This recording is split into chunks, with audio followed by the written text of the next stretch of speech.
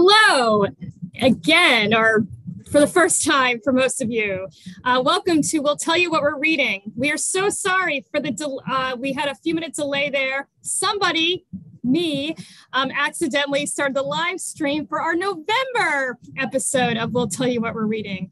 That's what I get for being prepared and preparing the links far in advance. I am now definitely doing September 28th and it is all good now. So again, I apologize for the delay and I thank you for your patience. Is it working? Yes, it is. I just wanted to double check it really was working. Um, again, or for the first time, my name is Laura Bernheim and I am the head of reference at the Waltham Public Library. I am joined today by my colleagues, Liz Rior and Greg Carter. We're going to share some titles with you. I'm also very excited to say that after um, a month hiatus, most of our book clubs are coming back for the month of October. Last night, um, our Initiating Inspiration Book Club did meet and had a very successful meeting. And the rest of our book clubs will be joining in October. This Saturday, uh, please join us for a discussion of Barbarian Days by William Finnegan. On Monday, October 4th, please join us for Tell Us What You're Reading, which is basically like this, except you get to participate as well. On Wednesday, October 13th, we are reading Freshwater by Akwaeke Emezi. And on Monday, October 18th, um, for our science fiction and fantasy book club, uh, we'll be reading and discussing The Haunting of Hill House by Shirley Jackson. All of the links, the Zoom links for these can be found on our library website under events and book clubs, or you can also email me as well at lbernheim at minlib.net. Uh, once again, as always, I want to thank the Friends of the Waltham Public Library, without whom this program and none of our programs would be possible. They have paid for the professional Zoom account, which allows us to live stream on YouTube. And we're going to continue this show even well past the pandemic because we love doing it and we love sharing these titles with you. So without further ado, I'm going to turn it over to my colleague, Liz. Hello, everybody. I hope you are all having a wonderful day. I'm excited to share these titles with you. Um, oops, not actually share, but present. Wonderful. Okay. So I have four titles to talk about today. The first one is Everyone Knows Your Mother is a Witch by Rivka Galchen. Um, this historical novel is set in Württemberg, Germany in the year 1618. So, you know, just a couple of days ago. It follows Katharina, Kel- Katharina Kepler, the mother of the famous mathematician Johannes Kepler, uh, during the later years of her life.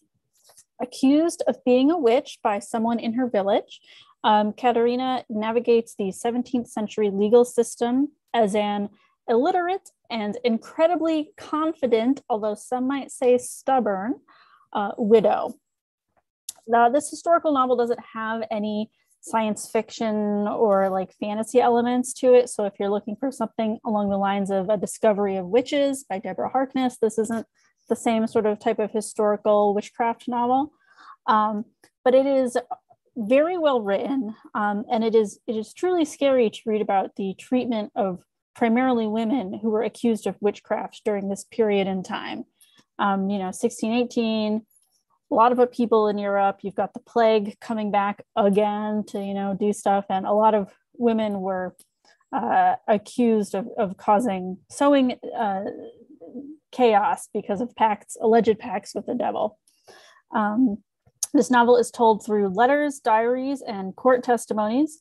It does get a bit dry at times, um, where you're like, "Come on, just keep going." But I, I want to believe that's a conscious choice on the part of the author um, to the repetitiveness, um, just because it must have been so repetitive to have to go through the experience of being accused of witchcraft and hear the same people tell the same lies over and over again. So I'm going to give I'm going to give the author that little bit of credit. My next title is Fuzz by Mary Roach. When Nature Breaks the Law. Uh, Mary Roach is one of my favorite science writers.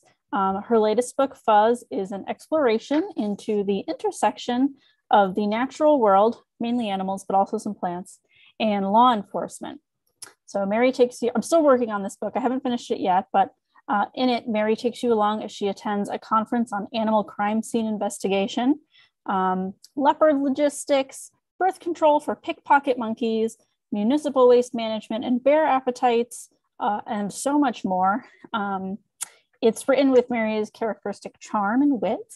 Um, that makes me really, I, I would love to travel with her as she's doing research for these books because it's just, she just weaves her way around the globe and it's just so, so delightful to read, um, read her work.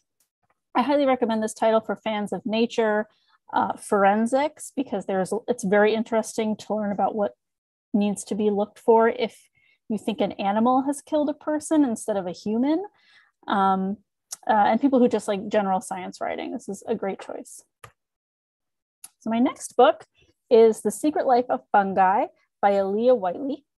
Um, so just full disclosure, I haven't actually started this yet. It is in my queue and I'm very excited to start reading it um, because over the last few months, I have become obsessed with identifying wild mushrooms, not eating them really, but just like being able to know what they are. Because if any group of organisms on this planet are descended from, you know, extraterrestrial species, it is fungus because they are so weird um, and so fascinating and so diverse. So this is just the description from the publisher since I haven't actually read it yet. Um, fungi can appear anywhere from desert dunes to frozen tundra. They can invade our bodies and live between our toes or our floorboards. Mm, yay. They are unwelcome intruders or vastly expensive treats and symbols of both death and eternal life. But despite their familiar presence, there's still much to learn about the eruption, growth, and decay of their secret interconnected world. Um, so even though mushrooms are everywhere, fungus is everywhere, we really don't know a whole lot about it because it's not a plant, it's not an animal, it's not a bacteria. It's like this whole other group of organisms. And they're just, I love them. Uh, so I'm excited to, to get this book started once I finish Fuzz by Mary Roach. My last title for today, um, I a few episodes ago, we talked about the Fear Street trilogy on Netflix, which I believe Greg and I both watched. Um, so after I watched that series of films, I decided to give one of the Fear Street novels a shot. Um, the Lost Girl by R.L. Stine is not one of the original Fear Street novels from the 90s. I was actually very much not a fan of horror and was terrified of anything R.L. Stine did when I was a kid. Um, but this is from sort of, there was a reboot of the Fear Street series five, six, seven, ten years ago. Um, so this is one of those sort of relaunch titles. Uh, sorry, I got distracted. Um, sorry. So this is a relaunch title. Um, and uh, I read it through Overdrive, which is our online um, uh, ebook resource that you have access to with your library card. So let us know if you need help accessing that. And it was good. It was a fast read. It's basically about a girl from the past who maybe shows up in the present, but maybe she's a ghost. Is she a witch? Is she a witch ghost? Is she the ghost of a witch? Like it's it's very sort of teenagery and over dramatic, and it, it's sort of like not the best writing, but still really fun, very fast paced. It doesn't drag, um, and it gave me a really good sense of nostalgia uh, for the original sort of Fear Street era of horror, I guess, even though I didn't read it. So maybe I don't know what I'm talking about. But, anyways, those are my titles. I hope you check them out. Uh, let us know if you want to request any of them.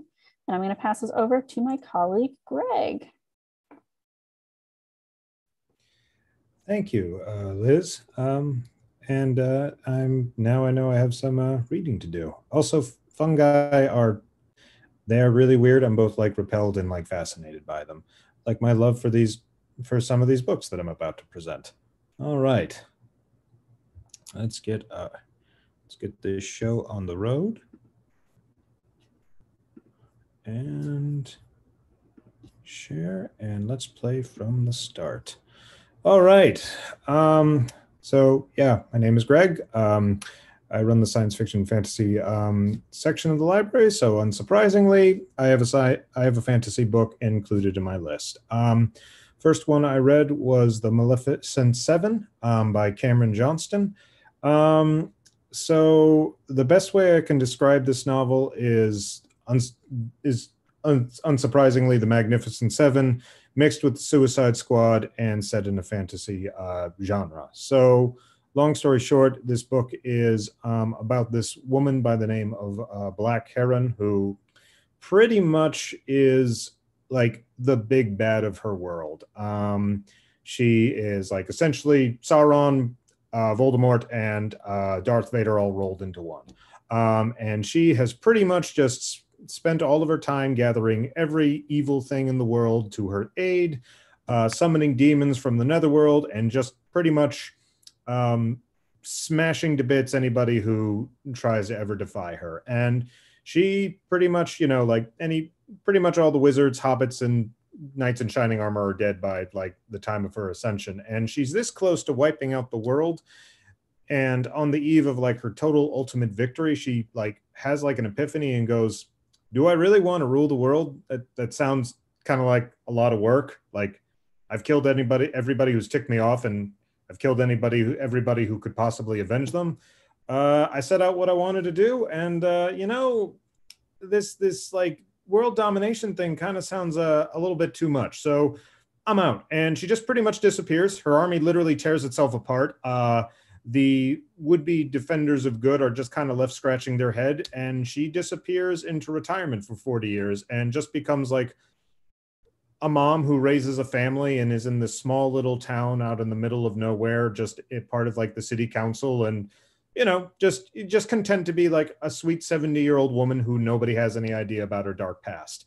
Um, so you know, she's uh, you know, but unfortunately, her uh, bingo nights are kind of put on uh, hold because, as it turns out, 40 years later, her village is threatened by this invading army of um, knights in shining armor, and by knights I'm in shining armor, I mean religious fanatics who pretty much murder and execute anybody who does not agree with their idea of what pure is. So if you are somebody who is remotely different from their set of ideals, they're going to kill you. And she realizes that, you know, this is not going to do because, you know, she has a family there and everything. So the only thing she can do to save the, her village is find a few of her generals and get the band back together and like pretty much have a last stand against like this group of uh, over the top zealots uh, and witch hunters. Um, now, again, this would be kind of like in any other story, would be kind of like a heroic band of misfits and such like this. But in this case, her army consists of a manipulative necromancer who sucks the souls out of her uh, out of her victims, a vampire with an incredibly ravenous a- appetite, a um, a literal demigod, um, the most terrifying orc warlord you've ever seen, um, a pirate queen who has eldritch Lovecraftian powers, um, and got and a scientist who uh, has never heard ever in his his life of the Hippocratic Oath. So these are the heroes, uh, and um, you just have uh, and it's all about them trying to like get not tear each other apart and kill the uh, kill the people who are going to wipe out this city. Um, it's like I said, it's it's an interesting read. I it's a lot of fun. You're not if you're not going to learn anything. If you're just wanting something like what is essentially the um, book equivalent of an action story, um, then this book is for you. There's a lot of like fight scenes. There's a lot of cool uh, things that go on with magic. Um, it's um, it's very gory. Uh, if this was a movie, it'd be rated R. So if you do not like gore, I would not recommend it. Um, but you know, if you're like a fan of um i don't know if you're a fan of like epic battle scenes and uh in fantasy books and like die hard or anything like that um i'd say go for it. Uh it's fun. It's just you know it's i i have a fun mindless mindless read. Ah uh, my next book. Deviant. Um the shocking true story of ed gein the original psycho by um harold schechter um now um I just want to say this up front, even though I love a lot of spooky, horror, creepy um, stuff, I'm not really one for true crime. True crime actually kind of creeps me out. Um, monsters are like really cool and fascinating to me, but people just being awful to each other um, isn't usually. It's it's just something that I usually don't um, I don't really try to read. However, the story of Ed Gein is something of a morbid. It's like a morbid fascination in some ways because, like, the thing to understand. I know that um, the thing to understand about Ed Gein is that he was a man from the 1950s who um, was uh, found doing the some of like the most horrific crimes um, you can think of. Um, so many that I kind of hesitate to talk about them, like in this book group.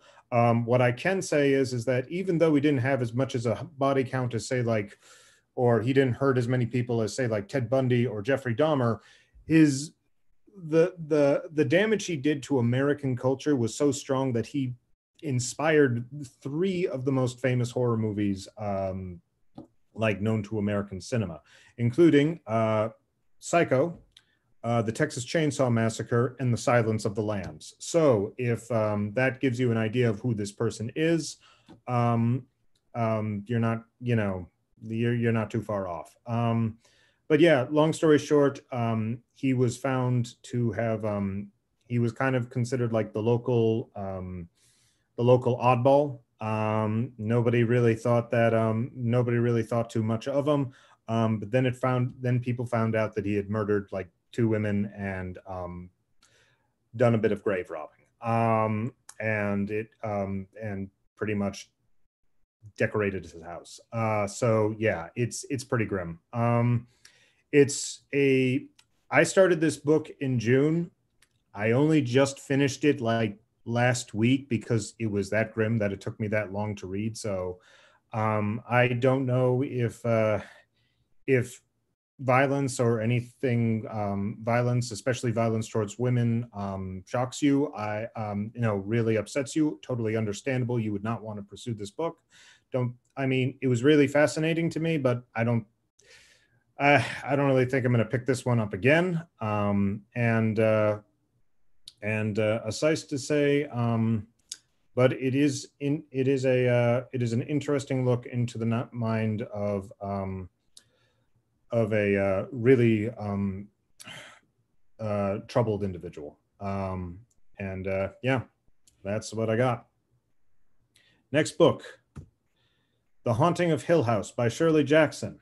Ah, so uh, since I'm going to be redoing this for a book group for um, for next uh, month, I am not going to say uh, too much about it because uh, you know you have to come and hear my uh, my full fledged opinion during the uh, book group. But um, what I will say is that this is without a doubt one of my favorite horror uh, novels of all time. Um, unlike the other two books that I was mentioning, there is not a lot of gore in this. it is a book that is um, much more heavy psychological um, than it is um, about like jump scares or anything like that. Um, Shirley Jackson is credited to being like the the like the uh, catalyst for what we think of as the American haunted house, and I agree with that 100%.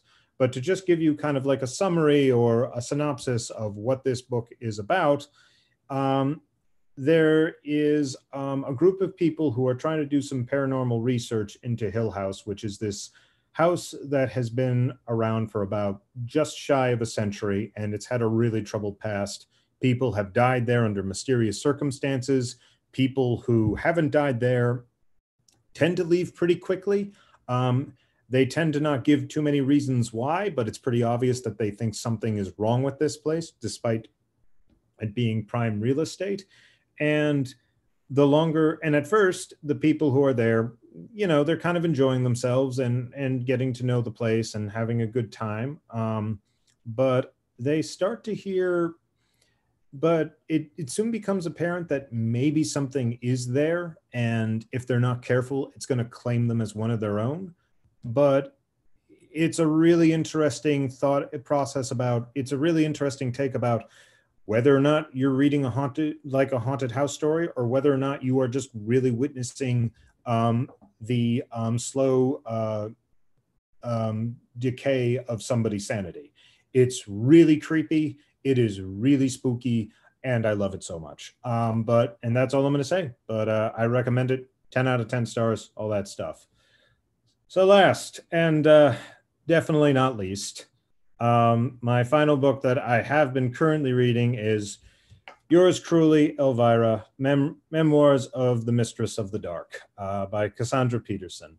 Um, so, Um, for those of you who don't know, uh, Elvira was a um, is a famous horror um, horror movie host. Uh, back in the '80s, she had a show where she pretty much did um, a uh, show about like horror movies and B movies, and she'd do a lot of um, she'd make a lot of jokes and be and make a lot of puns. Um, and um, unlike um, unlike a lot of other horror movie hosts at the time, who were kind of doing like a Tales from the Crypt thing or something like that, um, where it's like either like kind of they're playing it off as the like crypt keeper who's supposed to be like a spooky guy or kind of like not very getting like a very creepy persona elvira was very much doing um, well the the opposite of that a, a very smart attractive um, hilarious like host who's making a lot of puns and just um, having a good time with it all um, so this is about Cassandra's. So essentially, the book is about Cassandra Peters' uh, life before Elvira, how she developed Elvira, and where um, where she currently is at right now. This is a really funny book. I recommend listening to it on tape, um, like on audio, because Cassandra Peterson narrates it, and just her her delivery of the dialogue just has made me laugh several times. Um, there, she's lived a very one heck of a life. Um, there's many moments you are reading this and you're like, how did she survive that? She got to do that. Um, she wait, did she just hang spend an entire night with just just hanging out with Jim, Jimi Hendrix and just talking about like the political corruption of the system? This is like that that does happen. It's just it's it's just awesome. Um, and it's and uh, oh yeah, and just like um, uh, uh, and it, like running like running away from like all these other folks um, having it, it's it's really it's it's it's a wild ride. I'm rambling here but i just i cannot go into detail how how epic of a life this is um, and how and uh, and also in the highs and lows are just something to behold. Um, I will also say that there are some very sobering moments she doesn't shy away from, next, namely like sexual assault and how she had to deal with that, and uh, the importance of the um, her her um, like her recognition of the importance of the Me Too movement, um, and how um, that's and and how that's uh, been coming into play. Um, also, um, one of as a lot of people probably know, Cassandra Peterson just came out, um, just came out like I believe it was last week, um, as in being married to a woman for about 19 years, and it's not a long description, but I am, I I am I don't consider myself a sappy guy, but it is one of the sweetest chapters that I've ever gotten to read, and it is just it just it makes me so happy that through a lot of stuff that she's had to go through um that you know something like that happens. And it just it's you know it definitely put a smile on my face. So uh, if you want to uh, you'll laugh uh, you'll cry. You're definitely going to learn a couple things um, but um, yeah i pick up a copy when you can um, uh, 11 out of 10 so thank you. And uh, oh and i am so sorry. I am going to turn it over to uh, my colleague laura was it better than cats? You'll laugh, you'll cry. It's better than cats. Did I just date myself with that reference? A lot better. much, much better than cats. Um, I, would go to several viewings of the of the behind the true story. um, thank you, Greg. Uh, let me get my slides and let me just say for something completely different. Um, my books are all very different genre wise than what you have heard previously. Um, so my first book is So Many Beginnings by Bethany C. Morrow. Uh, so Many Beginnings is in the author's words, a remix, not a remake, not a takeoff on Little Women. Uh, to quote the author from an interview uh, she gave to NPR earlier this month, uh, basically, and this is her words, basically, Little Women is considered historical fiction. But as a Black woman, I've been excluded from that narrative. It seems like the kind of property that no matter how many times it's revisited, it's the same. It's for white girls. Uh, this interview, by the way, I just linked it in um, our chat. So I definitely recommend um, reading or listening to it. Um, in fact, I, that is Laura now talking, not um, Bethany Morrow, implore you to not uh, draw any direct lines between um, this book and the, the original novel, as will ruin what is really honestly otherwise a great reading experience. Um, so don't, aside from the fact Little Women is in the title, and yes, the family is named March, just don't think about the Little Women. This book deserves to stand on its own, and it's its own book. Um, so with that being said, um, the plot of So Many Beginnings, um, Meg, Joe, short for Joanna, Beth, short for Bethlehem, and Amy, short for Amethyst, along with their parents, are living on the Freedmen's Colony on Roanoke Island in North Carolina. Uh, this was a real establishment founded in 1863. Um, it's after um, this family's enslavement further south. I'm ashamed to say that I knew next to nothing about the Freedmen's Colony prior to reading this book and only had been taught about the Lost Colony in regards to Roanoke Island, as I'm sure many of you were probably taught in school. Uh, there's a lot of history we were not taught as we are discovering. Uh, through the four sisters' eyes, we see that being free of enslavement did not mean that life suddenly became easy. The Union is not always so altruistic, nor is the North a panacea, as Joe and Amy learn when they move to Boston in order to, for Amy to pursue dancing. The sisters are very well developed as characters and it's very easy to see them as their own characters and not as counterparts to the original novel. There's just so much love and warmth within the family, and I would have liked to have spent more time with them. Um, it's also encouraged me to learn more about the nuances of emancipation and the post Civil War. Um, one of the books recommended by Morrow in her afterword is Time Full of Trial by Patricia Click, which is actually about the Roanoke Freedmen's Colony. And that's a book that I plan on seeking out now that I've read this title. Uh, my next book is Eleanor by Di David Michaelis, a biography of Eleanor Roosevelt uh, the First Lady who redefined the meaning of the term First Lady. I was inspired to read this after watching the Ken Burns documentary on the Roosevelts, as well as seeing a one woman show about Eleanor Roosevelt over the summer. I'm still reading this very detailed biography, which is a warts and all portrayal of a woman who, in my opinion, is the best Roosevelt. And I'm sorry, you Franklin and Teddy fans, but it's Eleanor fight me on that. I have to admit that I've been guilty of deifying Eleanor Roosevelt. When I was nine years old, I told someone that she was my favorite dead child, dead person. I was a weird child. Sorry, I'm reading. I, we have a script that we read, and I, I was a weird child, uh, and that I would just automatically say that. But in addition to all of her socially minded activism and her role in the formation of the United Nations, she was human and had flaws, and I was glad to know the whole person. The book is dense and it's definitely taken me a while, but I'm definitely enjoying it as well as the greater context of the history at the time of each section. My third book is Twins by Varian Johnson and Shannon Wright, which is a graphic novel and the story of Maureen and Francine, identical twins, but the start of sixth grade are finding themselves drifting apart. Francine, especially, is looking to expand her horizons and friend group, and Maureen is feeling left out. Told from the point of view of Maureen, she's devastated to learn the reason the twins are in separate classes is not because of a scheduling mistake on the part of the school, but because her sister requested it. One thing leads to another, and the two end up running against each other for class president book really gets deep into the feelings of isolation, especially at this age. And we realize we've all been there as we all realize that we are drifting apart from our best friends. And of course, the added tension of the fact that the best friend in this case happens to be your identical twin who you live with. What I really appreciate about the book, though, is the characterization of all the characters, include and including Francine, who does not come off as a villain, as sometimes the drifting away best friend does in these cases. And she herself is a very sympathetic character. The parents are also a large part of the story and are well established. This is a good read alike for fans of Jerry Craft's New Kids series or the Smiling Guts books by Raina Telgemeier.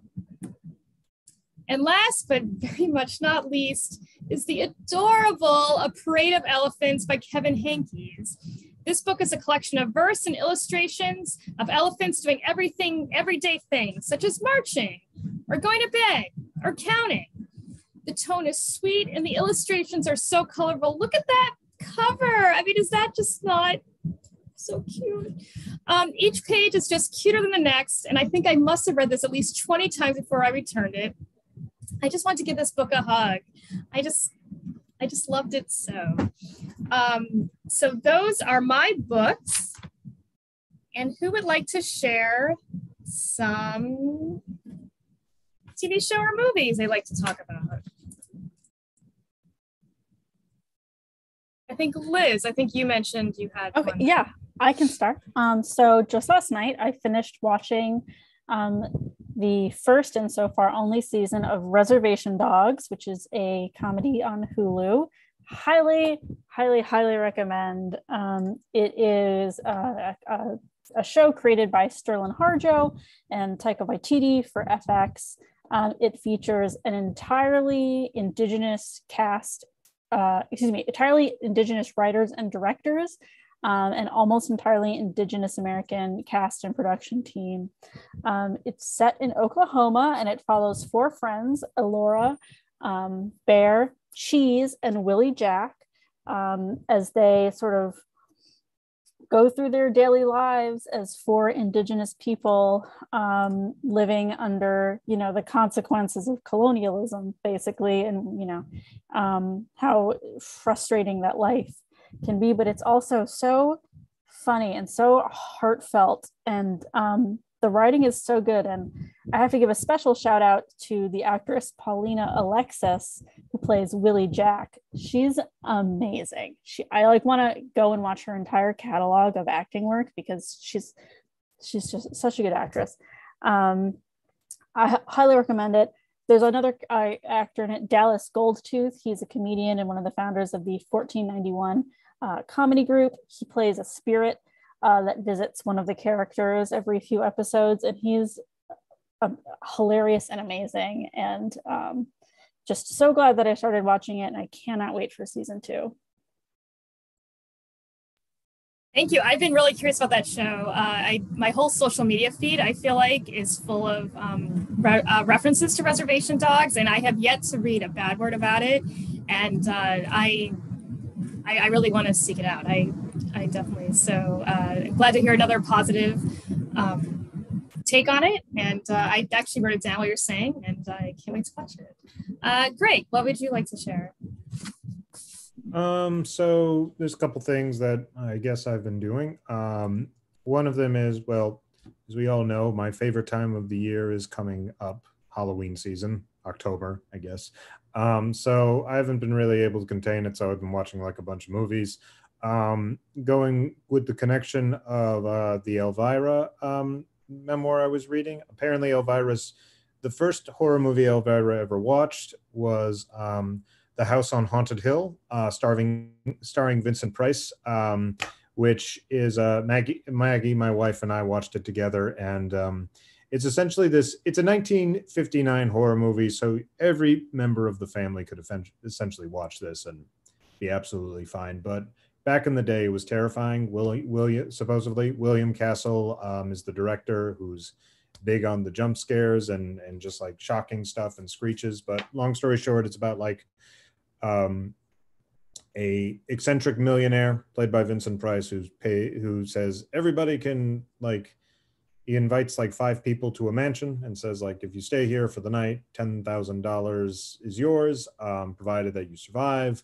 And supposedly there's ghosts and all, sorts of stuff. And it's just it's very hammy. It's over the top. If it was done by anybody else it would be a mess. But because it is vincent price at his most vincent price it is absolute gold. Um that he shows them in the basement like there's a pit of acid and you're just like why is there a pit of acid?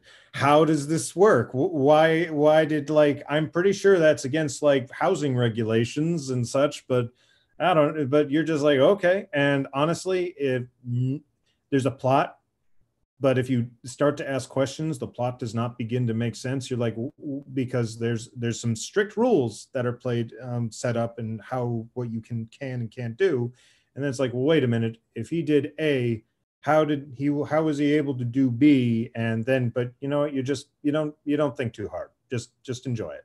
Um so you know very i i'd recommend it for a laugh. Um definitely gets you into the halloween season.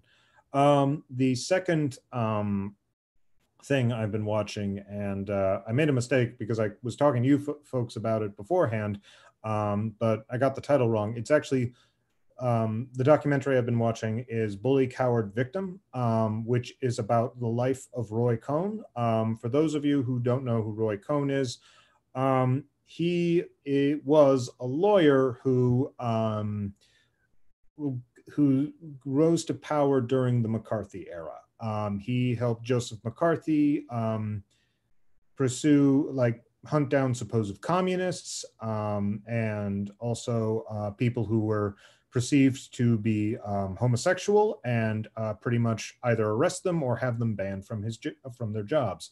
And the thing that's very hypocritical about this is that Roy Cohn himself was a gay man, um, and it was very like it was not a, really a secret. If it was, it was a very open-ended secret. But he saw no issue at all with um, with um, like persecuting and destroying the lives of um, people he accused of being gay or actually were gay, um, and also living um, living um, being gay. It was um, he uh, he I, the the disconnect that he had with that is infuriating and heartbreaking. And also after McCarthy pretty much lost power and was kicked out, he uh, had a life of um, helping the mob, um, helping Reagan get into power, um, working for the Trumps, um, and uh, and several other other um, factors of American culture. And the fact, and for good or ill, like, and a lot of it is for ill. He's uh, he affected he just his impact on the modern day world is astounding. Um, and the reason why, and well, it's history, so I don't think I'm spoiling anything. Um, the reason why it, it is titled that is because he was a he died in the 80s because he contracted AIDS, and as soon as he did, um, he, everybody who was an associate of his or worked for him or employed him pretty much abandoned him because, well, you know, incorrectly back in those days, uh, AIDS was viewed as a disease that only gay people got. And when, and even though he was an open-ended seek, his his sexuality was an open-ended secret, that was a um, that just made it very public. So they just pretty much abandoned him to uh, die alone. And he has a and he has a um, um, he's actually part of the AIDS quilt, um, which is and it's titled bully here roy cohn bully coward victim. Because you know as much as he persecuted them um, they the gay community also recognized he was part of that community no much no matter how hard he tried to deny it. And it is a it, it is a fascinating look at a rather dark aspect of our history. And uh sorry to uh go on a i'll go on a uh, whole speech there. My bad. Thank you. That sounds fascinating. What um wh- where is that? Is that streaming or where is that available? Um, I believe you can find it on Hulu. Oh, it is Hulu. Mm-hmm. Um, yeah, I know of Ray Cohn. I, I know the name certainly, um, but I don't know much about him or his life. I actually don't think I knew he died of AIDS. Um, so um, fascinating to watch that, and sounds like a kind of complex person. Is is that the right term to use? But uh, definitely sounds like a um, very complicated human being, certainly. Uh, yeah, he's uh, it's I. There's a few. There's a couple words that could be used to describe him. He also is a character in Angels in America, uh, played by Al Pacino. So. Oh yes, that, yeah. So. I think that's how I knew. I knew. I actually haven't seen Angels of America, but I read a review, and I think that's how I knew the name originally. Because. Yeah. Better no, living through performing arts. Uh, it's I, actually not a bad yeah and actually that was a it was a good it's a good introduction and uh yeah no but um uh definitely definitely worth a watch it's it's fascinating and you know tragic Thank you. Um, so yeah, I just I watched a couple um, on Netflix, which you can watch Netflix shows. As a reminder, uh, we have Roku's at the library that we loan out that have our Netflix subscription. So if you don't have one, uh, have a way of accessing it.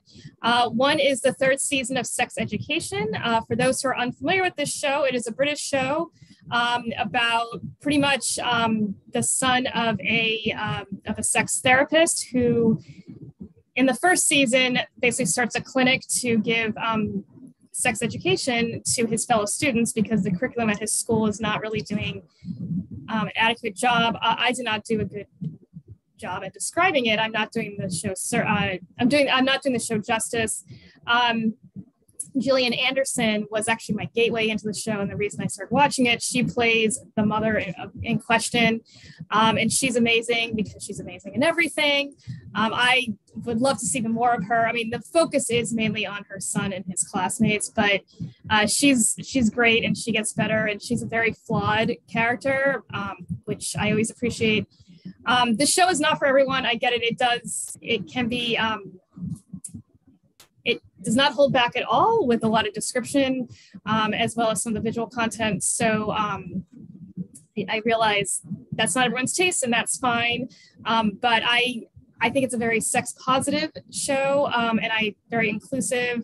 Um, there's, uh, without spoiling too much, in the second season, uh, there's really a great um, female empowerment moment uh, among a lot of the uh, teenage girls um, who are in the show who, um, after result of something uh, awful happening to one of them on a bus, I don't want to get too much into it, but it's really it's it's a beautiful moment in the show, and I cry when I see it. I even cry when I watch it in interviews. Um, this season, um, I think it's still good. I mean, there's definitely a couple of you're like, oh, I mean, there's a couple of contrivances like there are with any show. Uh, that I was like, oh, come on. But for the most part, I really enjoyed it. I think the acting is amazing. Um, I think, I don't think any of the teenagers are played by actual teenagers, but a good number of them look like teenagers, and really all that's all that matters. A couple of them do look like they're 35. Um, the um, the female lead, for lack of a better word, I think she's a lead. I'm she does not look 17, but she's a really good actress and she's a great character. So you kind of don't care. Um, but she's very clearly not a teenager. Uh, I, again, I, I recommend it again if you're okay with it's, I said it, it can be a little graphic. So if you're okay with that, I do recommend it. Um, the other show I'm watching on Netflix is uh, the latest season of the Great British Baking Show. So again, something completely different. Uh, the first season, the first episode is already aired, uh, so I'm not going to spoil it if you haven't seen the first episode yet. Which is really great is that Netflix is showing it pretty much simultaneously minus three days with the UK, which before we would sometimes get these uh, episodes almost a year later when they were on PBS. And even when they were first on Netflix, we get them maybe six months later. Now we get them only three days later. The problem is for someone like me, I would say a good number of the people I follow on Twitter are associated with the Great British Baking Show or the Great British Bake Off, as it's really called in the UK. And uh, I always make the mistake of going on Twitter on Tuesdays and finding out who was Star Baker who got kicked off. So I now have to take remind myself not to do that. Um, I just I'm not a big reality show person, but this reality show is just so touching. Even the mean judge is not that mean fact, it's not really mean at all. Um, I everyone is so appealing. You feel sad when anyone leaves. Everyone else feels sad when someone leaves. And at the end, you win a cake plate. That's it. You're not winning a recording contract. You're not winning a book contract. A lot of the more popular people on the shows do have um, end up writing cookbooks. I mean, Nadiya Hussain, who is my favorite, uh, probably contestant. Um, and spoiler alert, she did win one of them. It was years ago now. I feel like I'm okay saying that at this point. Um, she probably I would say is arguably probably been the most successful. And partly I think I've bought every single thing she's written. So I'm contributing to that success because she's amazing. Um, but you know, that it's it's just a great show. It's just it's a feel-good show. Even if you're not into baking, I do like baking a lot. Um, although I'm certainly not ever good enough to get in this show, partly because my stuff tastes good, but it doesn't always look good. Um, and I will say every season, um, I don't think it hasn't happened yet so far. There's always these key things that some of the contestants don't know how to do. It always frustrates me. It's like, don't you watch this show? There's always that one person that doesn't know how to make puff pastry or doesn't know how to make pâte à choux. Someone in this episode didn't know how to make butter. It's like the show's been on for I think it's 10 years at this point, going back to even seasons in Britain that we never got in this country you have to know you have to know how to make some key baking stuff. So that's always my one minor critique, but it's very very minor. Uh, I love it. Liz, I know you also watched Great British Baking Show. I don't know if you've seen it yet this season. Yes, I have watched the first episode. I um love it. I love my my current favorite contestant just because he's so I don't know, I just feel an affinity for him is Jurgen because yes. he's just so like quiet and chill and he just he says oh the ways that he talks is very calming to me um i don't know i just i really like Jurgen uh, i'm really excited for biscuit week which will air on friday and I, only bad thing related to this particular program is I learned over the weekend that my father does not like watching it. Oh, no. So that's completely shaken me to my core. Um, but other than that, yeah, no, I'm, I'm like so excited for this new season. And since you mentioned Biscuit Week, I can't tell you how many seasons I watched where I realized that biscuits just mean like cookies, basically. Mm-hmm. I was like, they're not making biscuits. I so you it's very educational. You learn a lot of British or not slang because they did mm-hmm. it first, but uh, British words for that we use different words for. And um, my mm-hmm. parents, um, I make I make them watch it. I they claim they like it. Um, I'm curious if they're just saying that to please me, but I think they do. But uh, so hopefully maybe your dad will change his mind. I don't know. Um, I'm done. I'm just gonna let it go. It's yeah. more important things to worry about. And sometimes we have to let things go with people we love. So, um, all right. Well, I think we are pretty much running out, uh, out of time here. Thank you, everyone, for joining us. We hope you enjoyed it. We enjoyed it with you as well. Um, please join us um, next month um, as we, uh, I believe it is Monday, October 25th. Let me just double check that. And hopefully I will record on the right day. Yes, Monday, October 25th at 2.30. Um, we are looking forward to talking with you then. And we wish you a good afternoon. Thank you, everyone. Do the same way. Bye. Bye, bye, bye.